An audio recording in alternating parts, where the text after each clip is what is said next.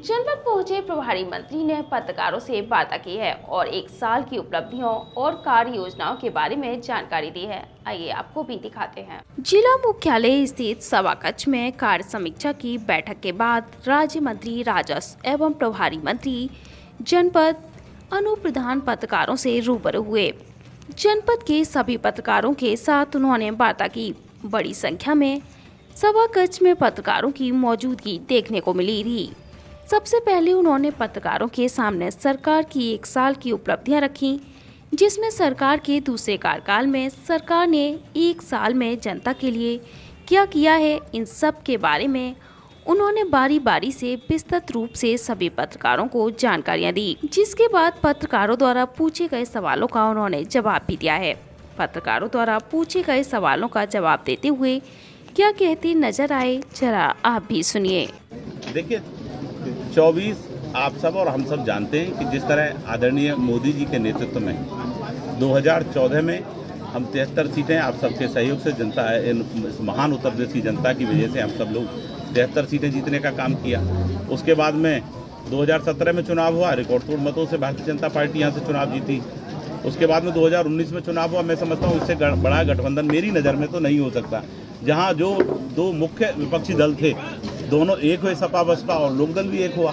उसके बावजूद भी भारतीय जनता पार्टी ने यहाँ इतनी अच्छी परमंश क्योंकि भारतीय जनता पार्टी का गठबंधन इस उत्तर प्रदेश की महान जनता के साथ है और जिसका जनता जनार्दन के साथ गठबंधन होता है, मैं समझता हूँ ये जो विरोधी दल है कुछ नहीं बिगाड़ पाएँगे और मैं समझता हूँ पूर्व की भांति जैसे हमारा चौदह में परफॉर्मेंस रही है और क्या नाम है, इसमें उन्नीस में रही है, मैं समझता हूँ उससे भी बेहतर। मैं समझता हूँ कि अस्सी से अस्सी सीटें अब के हम लोकसभा की यहाँ जीतेंगे ऐसा मेरा समाज अभी तो सिर्फ़ अभी तो सिर्फ़ प्रेस कॉन्फ्रेंस की है जो माननीय मुख्यमंत्री जी ने लखनऊ से की है। तो हमें जनपद में जो प्रेस कॉन्फ्रेंस करने का अवसर प्राप्त हुआ है अभी समीक्षा बैठक की जाएगी। उसमें जो भी इशूज निकल के आएँगे मैं आपके सामने फिर पेश हो जाऊँगा। और जो भी इशूज होंगे उनके बारे में मैं राहुल गांधी की सदस्यता गई है क्या कहेंगे इसको लेकर? देखिए कानून का काम कानून को करने दो ठीक है? माननीय न्यायालय ने जो भी निर्णय दिया, हमें उसका सम्मान करना चाहिए। देखिए, इसमें कोई दो नहीं। भारतीय जनता पार्टी के भी कई कई सदस्यों की सदस्यता अभी गई है। राजकुमार क्या नाम हमारे सैनी जी हैं जो विधायक जी थे, उनकी सदस्यता खत्म हुई है, चुनाव हुआ है। तो मैं समझता हूँ कि माननीय न्यायालय के निर्णय पे हम सबको किसी को कोई संदेह नहीं करना चाहिए, उनका आदर करना चाहिए। और अगर कहीं लग भी रहा है तो हमारे पास प्लेटफॉर्म है, हमें अपनी बात वहाँ जा के रखनी चाहिए। तो मैं समझता हूँ इसको बहुत ज़्यादा जो है तुल देने की कहीं आवश्यकता नहीं पूर्व में भी इस तरह के होते रहे अभी कुछ दिन पहले ही हुआ है। तो निश्चित इस तरह का मेरे हिसाब से कोई वो नहीं करना चाहिए। विरोधी दल लगातार सवाल उठा रहा है कि चुनाव नज़दीक आ रहा है इसको लेकर ये सब काम किया जा रहा है। देखिए मैं मैं आपसे पूर्व में भी कह चुका हूँ कि भारतीय जनता पार्टी के तीन तीन चार एमएलए आज़म खान जी की सदस्यता समाप्त हुई है। तो राहुल गांधी जी की भी हो गई जो कानून कानून का अपना काम है। तो कानून ने अपना काम किया उनको दो साल की सजा हुई है उसमें। तो जो उसका प्रावधान है वो तो उसमें पनिशमेंट हुई है तो निश्चित ही होगा। सैनी जी रहे है जी? हमारे वहाँ से हमीरपुर से एमएलए थे उनकी संस्था खत्म हुई है। सेंगर जी थे उनकी खत्म हुई है। आज़म खान जी की हुई है तो राहुल जी की भी हुई है उसी क्रम में।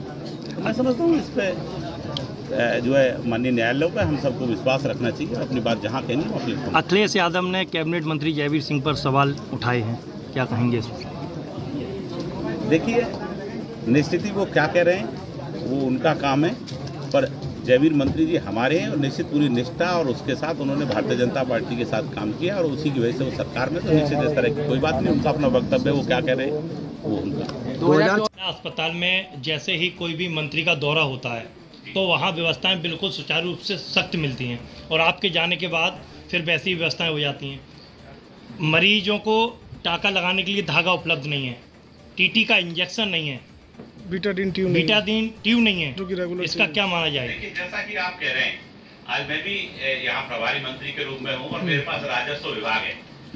तो मेरे मेरे प्रोटोकॉल में भी आप देखना कि मैंने आज एक तहसील को चिन्हांकन किया है पर ये उसमें नहीं किया कि मुझे जाना कहाँ है।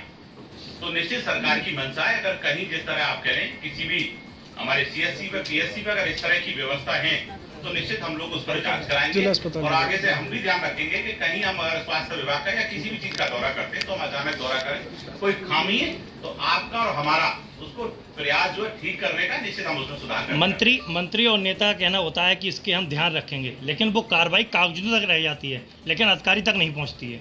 देखिए निश्चित हम आपको आश्वासन दे रहे हैं कि उसमें निश्चित सुधार होगा। हम हम और आप मिलकर के और अधिकारियों के साथ मिलकर के उसमें अच्छा कराने का प्रयास आप अभी चाहें तो जिला अस्पताल